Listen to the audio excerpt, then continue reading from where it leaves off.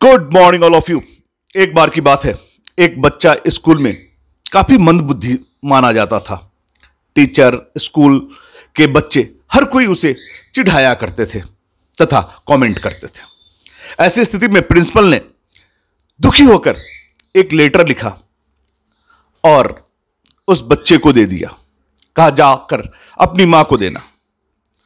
माँ ने उस पत्र को पढ़ा और बताया कि इस पत्र में लिखा है कि आपका बच्चा काफ़ी मेधावी है, काफ़ी इंटेलिजेंट है और मेरे स्कूल में इतने मेधावी और इतने इंटेलिजेंट टीचर नहीं है कि हम इन्हें पढ़ा सकते हैं।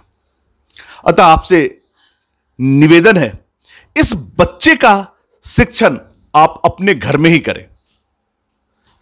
समय बीता, बच्चे घर पे ही पढ़ाई करना आरंभ किए। समय बीता, काल बीता कुछ दिनों के बाद उनकी माँ भी एक्सपायर कर गई। लगभग तीस, पैंतीस साल गुजरने के बाद वह व्यक्ति एक अच्छे पद को प्राप्त किया।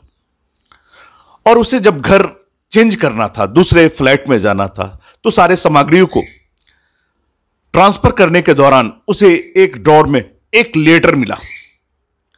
वह लेटर देखकर वह व्यक्ति काफ़ी भावुक हुआ और उसे याद आई, यह वही लेटर है। जिसमें मेरी तारीफ़ लिखी हुई थी। उसने उस लेटर को देखा, खोला और पढ़ा। उसमें लिखा था, आपका बच्चा काफ़ी मंदबुद्धि है। इसके अच्छे परिणाम नहीं हो सकते हैं। और इसके कारण मेरे स्कूल का भी नाम खराब होगा। वैसी स्थिति में आप अपने बच्चे को अपने घर पे ही रखें और इसे शिक्षण दें। लेकिन माँ ने इसके विपरीत ही कुछ कहा था, जिसका परिणाम यह हुआ कि वह बच्चा सर अल्बर्ट आइंस्टीन बन गए।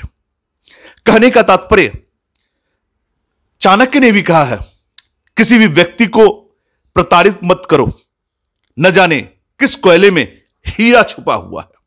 अगर आप किसी भी क्षेत्र में हो, प्रोडक्शन में हो, ऑपरेशन में हो तो अगर आप किसी भी व्यक्ति का सबसे श्रेष्ठ लेना चाहते हैं प्रोत्साहित करें, चाहे वो आपका कलिग हो या फिर आपका पुत्र या फिर कोई छात्र।